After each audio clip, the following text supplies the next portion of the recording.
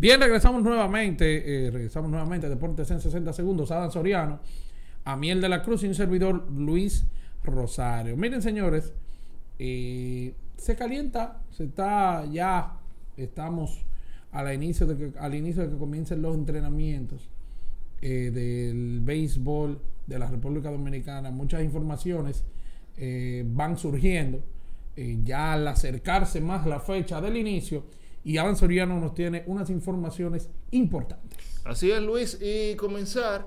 Ayer se produjo un cambio entre dos equipos ya a, 20, a 27 días, hay que decirlo así porque comienza el 27 de octubre la pelota invernal, y es que ayer los gigantes del Cibao adquirieron vía cambio desde las Águilas Cibaeñas al antesalista Diego Boris por el inicialista Andretti Cordero. Diego Boris eh, es conocido ya en el béisbol invernal dominicano, eh, fue titular por varios años con el uniforme de las Águilas en la posición de la antesala, estuvo con la organización por ocho años eh, y fue uno de, los, uno de los que participó con el equipo dominicano para clasificar a la República Dominicana a las Olimpiadas de Tokio 2020. Fue fundamental para la corona de las águilas obtenida en la temporada 2017-2018.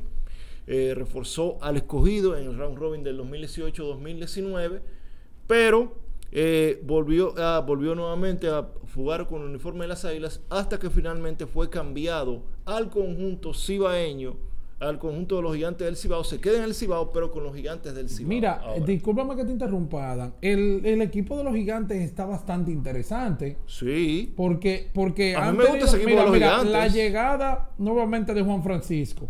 Tienen también a Jordani Valdespín. El año pasado adquirieron a Willín Rosario. A Willín Rosario también. Ahora adquieren a Diego Goris. Ese equipo está interesante. Eh, a mí me gusta ese equipo de los Diego Goris, que es un pelotero.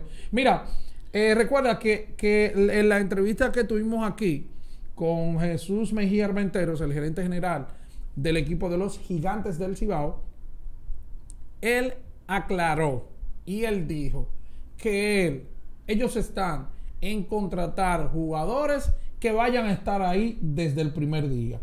Porque la pelota dominicana es bastante complicada en el sentido de que en la primera semana fácilmente un equipo queda descalificado. ¿O me equivoco?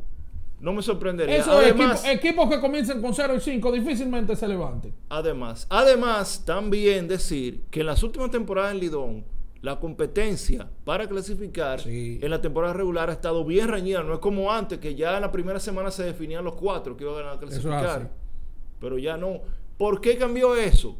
Por lo que hablamos semanas atrás. El draft de novatos y que los eh, equipos están estructurando sus equipos de operaciones de béisbol.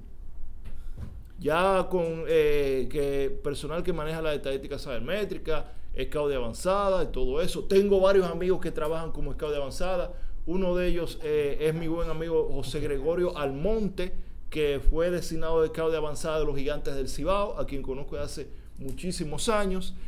y también muchos otros es decir, que ya el béisbol de la República Dominicana, especialmente el Lidón, ha cambiado en los últimos 10 años. Ya no se reparten el bizcocho ni el escogido, ni el Licey, ni la salida de los jugadores buenos. Eso lo reparten todos. Sí, mira, vamos a hacer una pausa porque ya tenemos el invitado y luego retornamos con una de las dos entrevistas que tenemos en el día de hoy.